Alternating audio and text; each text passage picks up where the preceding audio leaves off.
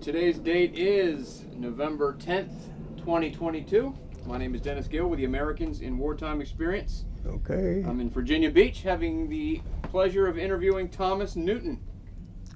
So thank you very much for sitting down and talking to us. Oh, no problem. Yep. If you could just give us a little bit of background about yourself. Where were you born? Where did you grow up? Where did you graduate high school? Things like that. Okay. I was born in a little town called Tarboro, North Carolina. But my sister, my oldest sister was born in Trenton, New Jersey. My oldest brother was born in Harlem Hospital in New York City. So when my mother got ready to have me, she owed money to Harlem hospitals, so she couldn't have me in New York. So she took me to my grandmother's down in North Carolina, Tarboro, North Carolina. Okay. And that's where I was born. That's where I was born, so. Okay. Is that In- where you grew up? Uh, eventually, it was during the war, 1940s, 1939, okay, um, we went back down to North Carolina for grammar school, grade school, Okay. and high school. So during those times, it was tough for my mother and father, so we sent us to North Carolina during the school year and always back to New York during the summer. Okay. So we knew we had two worlds we could live in, the South and the North. Right. So that was good experience in those days and Yeah. everything. So that was happy times, and uh, those times and everything was happy time for us, but a little struggle for my mother and father. So Yeah. in order to facilitate and uh, to take care of us, they always sent us to my grandmother to go to school, but they make sure that we came back to New York in the summer. Yeah. Well, my grandmother said, I had them during the winter, you take them during the summer. so, so we grew up in uh, North Carolina and New York. Yeah. So Did you like one better than the other? uh, equally. Yeah. Well, it's more to do in New York, but down in a small town, you know, it was not too much to do, but we made, when ourselves, my brother, my sister, Right. and myself, we made things to do. We were happy in North Carolina. I mean, happy more so in New York, because there's more things to do. Okay. more movies to go to. My mother and father always made sure that we would get what we needed and to be disciplined and to instill in us that uh, don't get in trouble. Right. They always say, no trouble, no trouble. I know you not used to do, be in New York during the summertime and everything, but while you were here, no trouble. Yeah. And we abided by what they told us. Yeah. Did you um did you have any family members that were in the military? Yeah, my oldest brother, he was in the military. Okay. Yeah, What branch of the service? he was in the Army. Okay. Yeah, I think he was in Fort Leonard Wood, Missouri. Fort Leonard Wood, Missouri, I think, for a while. Yeah. And then I think he went overseas. I don't know what branch he. I mean, I don't know where he went. But Yeah. Do you remember Pearl Harbor? Do you remember that day? Oh, yeah, In I remember Pearl Harbor, yeah. Yeah. What do you remember about that? I remember we were sitting home and uh, we heard uh, FDR's speech about uh, bombing Pearl Harbor.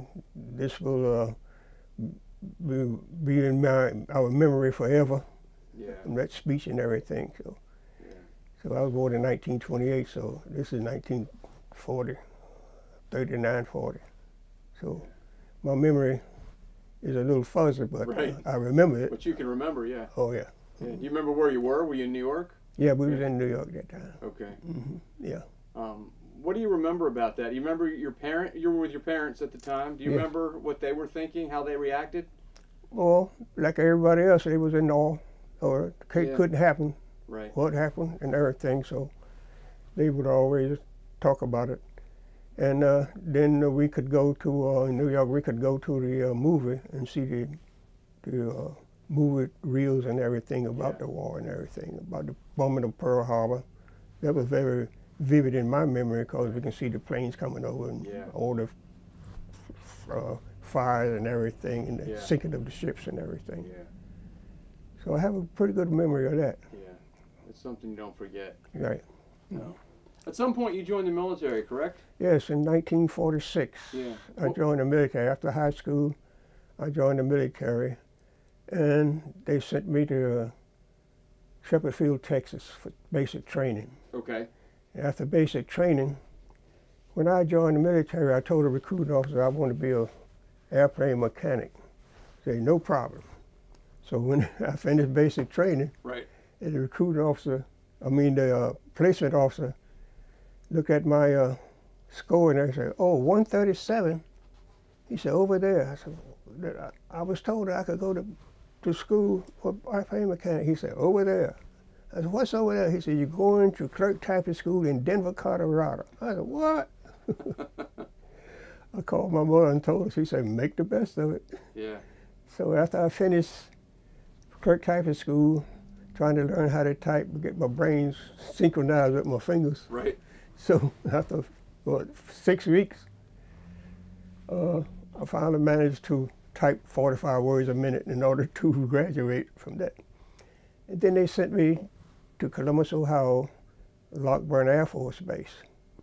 Now, Lockbourne Air Force Base had been closed because uh, during the war they didn't need it no more. Right. So let me uh, put a little background on that. Uh, in Freeman Field in Indiana, they had a, up after the war, some pilots want to not fly single engine planes and all, so they went to they sent us to sent them to Freeman Field in Indiana Right. for B 25 training. So they promised them separate but equal quarters. That didn't happen. Mm. It was separate, but it wasn't equal. So these uh, 101 pilots and enlisted men, the pilots decided that they was going to go to the uh, White Officers Club. So they went five with one day, and a couple of days later, 10 would go try to get into the club. So they uh, barred them and had them ask them to sign a paper waiver that they would abide by what's on the base. What the commander demanded of them on the base. Right. They refused to sign. So they charged them with mutiny. And when they charged them with mutiny, mutiny and everything, they decided that uh, two or three of, of them was sort of adamant about not being able to go to the club. So they decided that they would send them back to Godman Field, 101 officers, and enlist them back to Godman Field. So that was in 1945. So when they got to Godman Field, the Air Force was wondering what were we going to do to these guys? They came from overseas. They were self-sustaining overseas because they had their own base. Everything was separate in these days. You know, it's segregation. Right.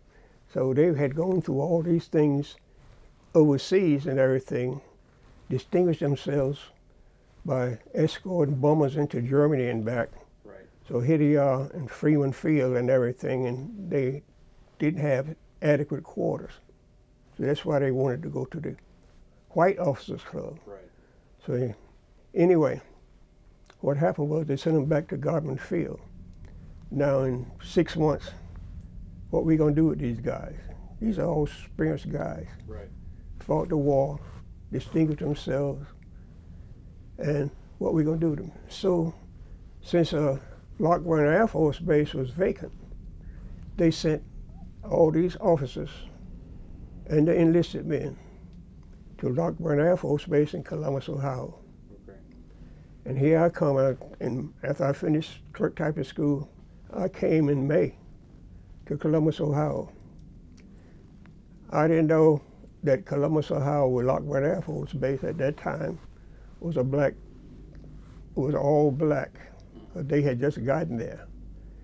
They didn't have quarters. They was had to open up everything on the base, the mess hall and everything, the carpool, everything. They had to open up but they had experience from overseas because they was a separate unit overseas also. So we had everybody, the tower operator, truck control tower operator, of the of the uh, motor pool, everything on a base, they knew how to do. So Billy O. Davis Jr. was the commanding officer. So he uh, instilled in us when we got there, everybody has a job to do they put us here thinking that we would fail because we just wanted to be a part of the facilities that the white soldiers have, the White Houses and everything. So we are here on Lockbourne Air Force Base in 1946. So Old Davis said, we are here, we got a job to do, and each one of us gonna show our pride. We're gonna be a proud service on this base. They had the 99th Fighter Squadron, the 301st, and the 100th Fighter Squadron. And they had the 301st was the bomber group who had was supposed to go to Indiana for bomber training. Okay. So they didn't, the bombers didn't fight in the war, but the 99th, 101st, and 301st fought in the war. So uh, Major Old Davis instilled in all of us, you got a job to do, do your job. Right. we going to show the Air Force what we can do, despite being discriminated against. Despite our lack of their lack of uh, interest in us. We're going to do a job here. We'll exemplify everything that instilled in us, and every man on that base had the pride to make Benjamin O. Davis Jr.'s operation on that base a thing that we could all be proud of. And I was there for three years. And I was so proud that I could look out the window or go down the flight line and see these pilots flying these airplanes, coming back in. And those were some good times for me because 18 years old, 19 years old, at first I was in the operation headquarters of the 99th Fighter Squadron doing the morning report. Yeah. And then eventually I was on the flight line as a supply sergeant. So anyway, I was could I was young. I wanted to know everything that I could know about these officers and everything, what they did during the war, and uh, how long they was in and everything. So I met some of the officers, like oh, Chappie James, uh, Charles Dryden, William A. Campbell, all those guys that distinguished themselves during the war. Mm-hmm. So my experience in Lockbourne, for my three years there, was one that uh, I was proud of. And even today, I can say that I was in Lockbourne Air Force Base, and it was one of the best bases. that They said later on one of the best bases in the Air Force because of uh, what they had done and what they accomplished. Yeah. And after they integrated in 1949, 48, then I, we- I got out in 1949. But my time spent there was rewarding because I was among these guys that had distinguished themselves. And I didn't want to do anything to uh, bring, Right. reflect uh, negative on what we were doing at Lockbourne Air Force. So everybody had a, a, a common interest. Of, we gonna make Benjamin O. Davis one of the best commanding officers on a base, and they did. Yeah. And uh, whatever we did, we did with pride. We would walk straight.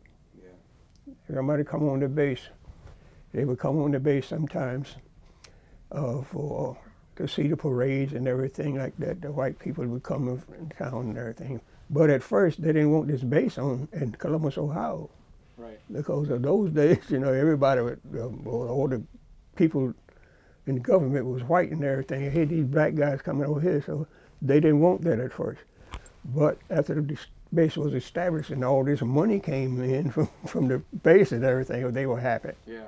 And every time they would come out to the base when we had some uh, operations going on and everything, like we had a flyover, all the black pilots and everything, and they were happy to see that and everything. So eventually they th- did support what we were doing on the base and everything. Right. So I had a lot of experience. I can remember in 1946 I got there. In the latter part of 1946, they had uh, committed to go to Blythe, California. So uh, the 20 airplanes was going to go to Blythe, California. I was in supply at that time. And uh, we had to go three days ahead of time to Blythe, California, about 265 miles outside of Los Angeles. Right. in the desert. So we got there three days ahead of time. So that was my first fight on an aircraft. This old big C-47 with two wings. Right. And it was raining like crazy this morning. I thought, we're not going to play today. So about six o'clock, everybody on the flight line that's going, we got on the plane and everything. And we got the window. I was sitting next to the chaplain. So on our way, we hit an air pocket. Zoom down, you know. Right. And the chaplain looked at me. I looked at him. So I said, "What's this?" He said, "That's what you pull in case something happens, you know." So, so we got to Blythe, California. Now, mind you, that nobody, all these, they had a skeleton crew on the base. The base was small; it had been closed. Yeah. So all these guys on the base and everything, we see, we come in three days ahead of time. What you guys doing here? You wait and see. You see. We're here for the maneuvers. So three days later, here come these 12 airplanes, single engine P-47s landing, one after the other, one after the other. So uh, we was on the flight line all the mechanics and out there go out there to that plane and everything, security planes, shock them and everything. And then these pilots, they waited the last one had uh, landed and everything, security planes and everything. Right. They're walking towards the operation room. So these white guys say, hey, what, are those colored guys? So we just, just listen. So, man, they can fly planes? What do you see? So when the guy say, they fly planes. Said, just like everybody else. What do you think? All we need is a chance. Every, all we need is a chance. We can do anything you can do. Right. And after that, every morning, every afternoon, when they leave to go up to Catalina Island to whatever they was doing out there, shooting targets and everything, and they come back, those guys would come and welcome them. Thank you, sir. Thank you. All right. But at first, they didn't want to salute right. these officers and everything. But they learned that they had abilities just as the white guys did. And when we left, everybody on the flight line, or they came out, and they were, every time a plane take off, they were clapping. What a big experience we had, you know. Right, right. So uh, those was uh, the times that uh, I felt that, uh, you know, we are doing something for our country. But we don't get the praise, we don't get the recognition, everything that the white guys did. Mm-hmm. What we did, what every white pilot did, what every other group did, we were as good as they were. In, in the war, uh, they lost 66 airmen from the 332nd Fighter Group and had 26 prisoners of war. And uh, during that time and everything, they was at a separate base in Yugoslavia, so they had to fly over to where the bombers were taking off, and they would escort them to, into Germany and back. And their work record was they had less bomber attacks than any other group had previously escorted the bombers into Germany and back. Because of that, they had their plane red tails. They had the tails on the planes red, and the, the, so they didn't know who was escorting them in and out. But one day, one of the planes was disabled, so they was forced to land in Yugoslavia, where the 332nd and 99th Fighter Squadron was. That's when they realized that these red tail guys were actually black guys that was protecting them bombers into Germany and back. Yeah. That's when they learned. And that's when the publicity was, hey, those guys that we see, those red tails, we, when we see those guys coming, we can relax. Well, we know they're going to Berlin and they're going to protect us. And they shot down 100 and I think it was 133 German aircraft. Wow. They uh, a hundred and something on the ground, a thousand box cars they disabled and everything. and one destroyer. They sank one destroyer. But all his accomplishment was the guys that I am now looking at. All these guys from overseas on Lockwood Air Force Base that I have read about. But now I'm among these guys. You know, I told my mother, she was so proud, you know, that yeah. you you got history here, you know. Always, always long as you live, be glad that you was in a place that you could learn and you could see people, real people that you know. Yeah. Real people that you can talk to. And just like everything else, it's a struggle. But those guys at Lockwood Air Force Base, they made Benjamin O. Davis proud. And one of the other features after I, after uh, about a, couple of years ago, 2020, 2020 I think it was, my son lives in uh, Plant City, Florida, so every year they have a strawberry festival down there. So uh, some people from MacDill Field came over, the officers came over and everything. So they put me and my wife in the parade, you know, 1957 yeah. Chevrolet. That was the first car I ever owned. And uh, they had us in the parade and everything. So one of the officers from MacDill Field said, Mr. Newton, Sergeant Newton, would you come over to uh, MacDill Field and talk to our troops and everything? I said, be happy to. So my son took me over there, and uh, we talked to the troops. So in MacDill Field, they have a conference room for Benjamin O. Davis Jr., a conference room dedicated to him. Yeah.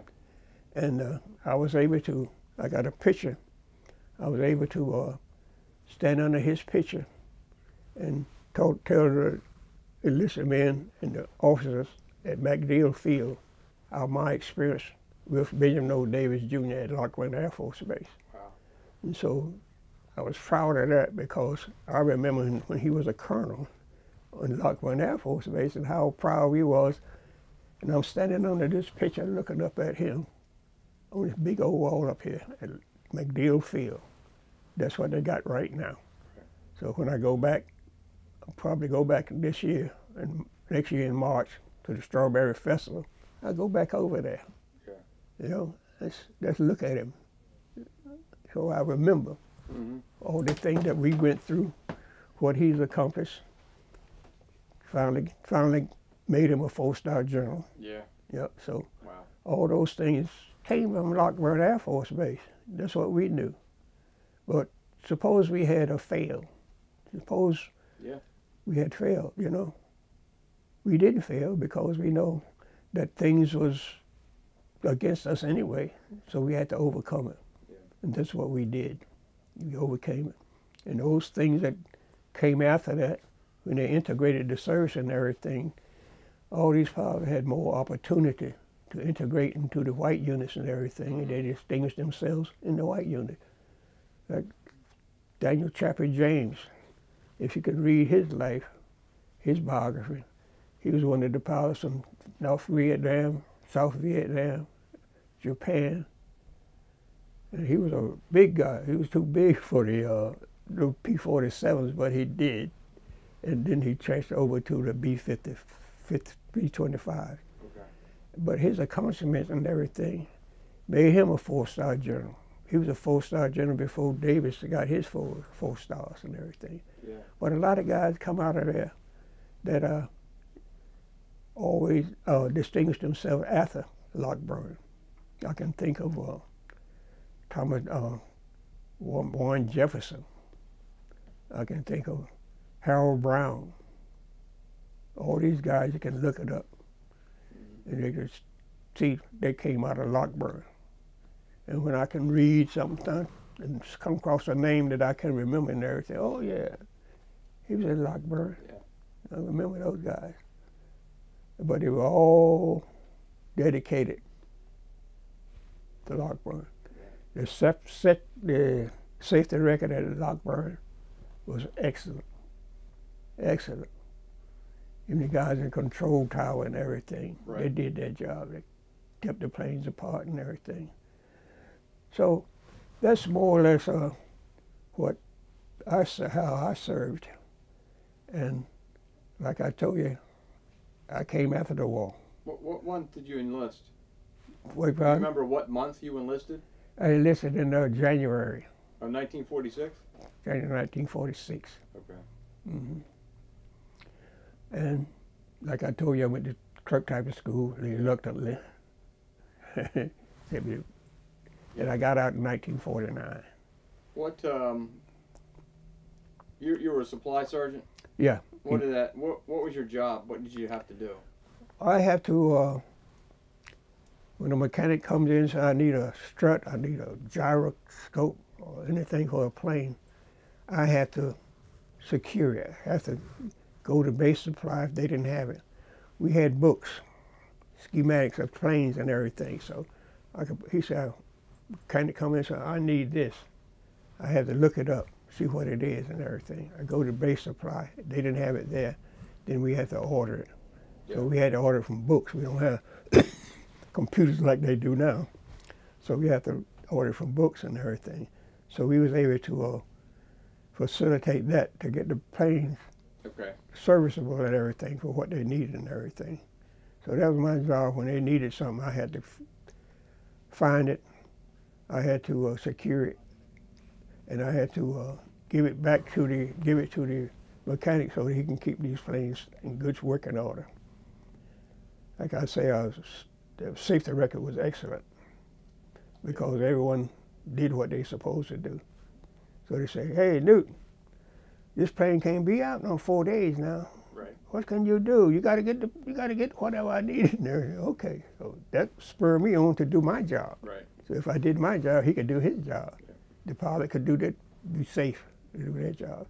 So that's what I did, uh, my part. Right. Security parts for the planes. Are there any incidents while you were there? Anything that stands out about your time there? Oh, There was a lot, probably, that, yeah. Well, that you went know, on. yeah. Well, nothing negative. Yeah, nothing negative. on the base. No, nothing negative on the base. But uh, some fond memories I had, you know, Ken, uh, Kennedy Airport, uh, airport uh, what's the name of the airport in uh, New York City? Uh, LaGuardia, No, not go out of the other. um, JFK. Of course, it wasn't JFK then. JFK, yeah. Yeah. Well, it was Idlewild in those days. Yeah. And uh, our planes had took part in that, so they flew us up to Stewart Field in New York City. I Okay. mean, outside of New York City, Stewart Field, and our planes had to go into this and search and uh, do our flyover with the rest of the planes from all over the country. So there was Ottawa at that time. Now it's JFK Airport. Gotcha. But on the base, on my, I can say that uh, I don't have too many too many negative things Yeah. to say and everything. We all got along. Did you keep in touch with any of the guys after you got out? Did you keep still keep in touch with any of them Yeah, I after you did. got I, out? I can remember one, uh, Buford A. Johnson. Okay.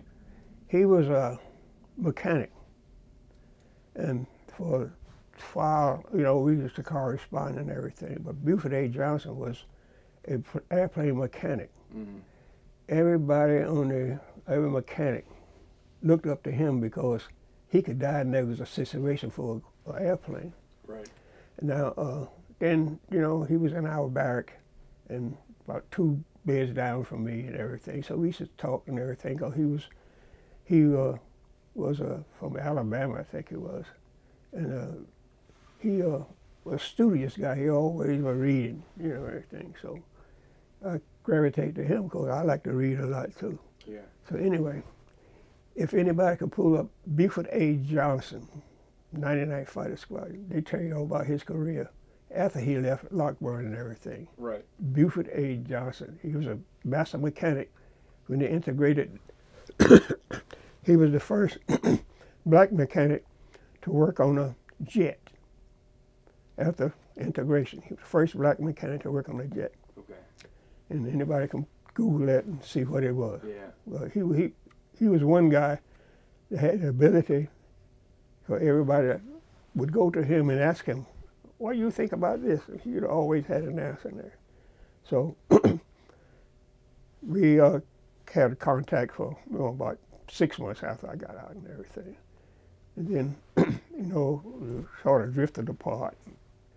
And uh, my mother had told me when you, you got three years in, you can get the GI Bill, come home and go to school. Yeah. So when I came home, I went to Fordham University, but I didn't graduate, but I did go. And uh, after that, I went in the U.S. Post Office for 33 years.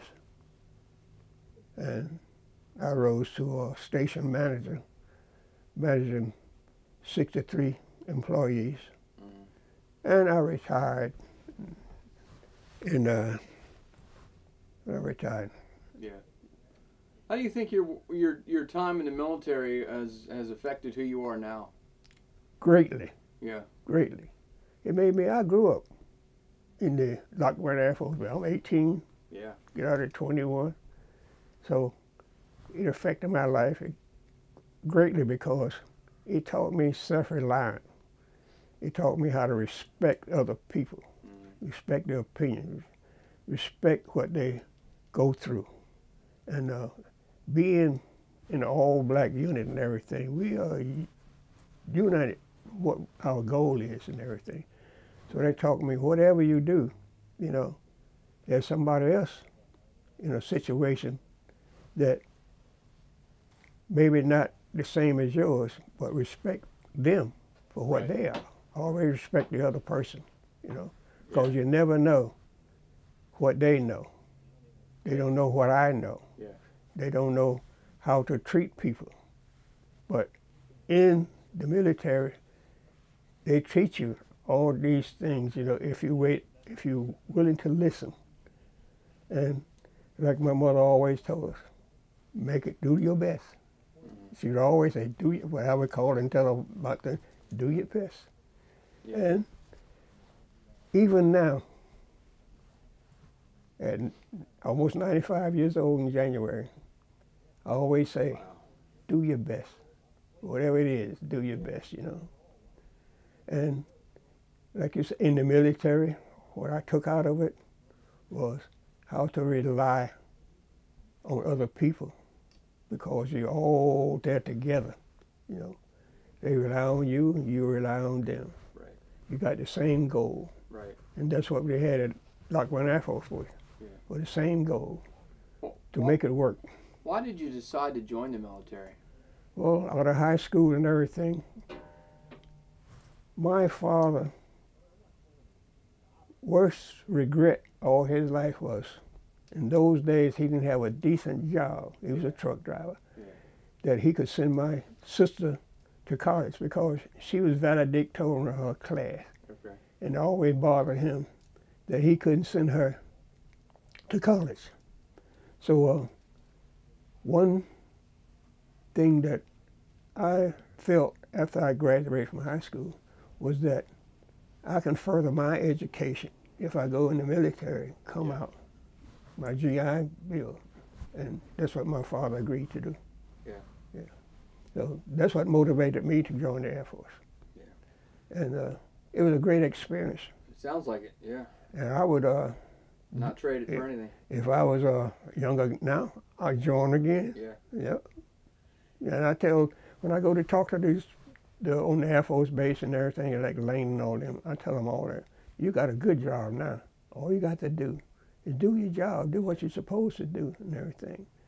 So I said, these are different times, you know, we had it rough, but you got it easy now, you know. Yeah. I was impressed when I went over to MacDill Field. This young lady, she's 30 years old, and they uh, put me in a simulator and everything, showed me how everything worked. The young lady say, uh, "Mr. Newton," I said, "What do you do?" She said, "Well, you see the airplanes. We are the squadron that refuel airplanes in flight." Okay. I said, what do you do? She said, you want me to show you? Could you come down here? I said, I'm not going down there. I'm claustrophobic. so, but this young lady, 30 some years old, was responsible for the boom, operating the boom. Yep. That the fighter, the planes come up to and she operate this boom. Make sure that everything is lined up. She talks to the pilot and everything. And I said, That's what you do? She said, Yes, sir. I said, Oh my, oh my. She said, I love what I do because they depend on me to get that fuel. And I, everybody knew that job. And I was impressed with a lot of young people over in MacDill that are pilots, guys 35 years old, black guys and everything, you know. They took me around the base and everything, you know. They tell me, oh, yo, what they do. They put me in a simulator, so where you want to go. And I say, oh, take me to Hudson River, New York City. Take me down to Hudson River. Maybe I'll make spot my house. and the simulator said, where would you like to go now? I said, take me to Hawaii. And this simulator take you to Hawaii. You go. These things, you know, I was so happy that I had joined the Air Force. Oh, they got all this stuff nowadays that we didn't have. Yeah. So there's a proud times in those days, you know. That uh, and I look back, I say I was a proud. I'm proud of where I was at 18 years old. Yeah. Or where I was at 19, 20 years old. I said, no way. I don't know what would have happened to me if I hadn't joined the Air Force and everything. Uh, for black kids in them days, they didn't have too many jobs. So my father say, you want to go to the Air Force? Okay. But when you come out, you listen to your mother, you got to go to school. Okay. I did. That's what I did. What advice would you give somebody that might watch this inter- interview in a hundred years? What advice would you like to send them? I would like to say to anybody that watches this, you know, whatever your, whatever you do in life, remember, you are not here individually. There are other people that depend on you. Yeah. Other people that surround you, other people that admire you. So don't get negative about anything. Always be positive. Always be positive. Yeah. So if you're young today and uh, you want to do some things in your life, you don't know where it's going and everything, you can't decide. I would tell everybody, join the, join the armed services, especially the Air Force. Yeah. And because and you feel young, like I was, I grew up in like Lockbourne Air Force Base around people that I had admired, I had wrote, I had uh, read about and everything. And whatever your job, whatever your job is, be proud of what you can accomplish. Look back and say, I did that. And look how it turned out. It turned out real. Whatever your job is, whatever you do, Right. be proud of whatever you did, you know. If you uh, pick apples, pick the best apples and say, I picked that. Whatever you do, make sure that you are doing your best, whatever it is. Yeah. That's what I would tell everybody. Do your best. When you do your best, you can be proud of yourself. Yeah. Well, I thank you, sir, for sitting down with us. Uh, uh, and on behalf of the Americans of Wartime Experience, thank you for your service to your country. Thank you. And it's a pleasure to meet you and, and get to hear your story. Okay. So, thank you.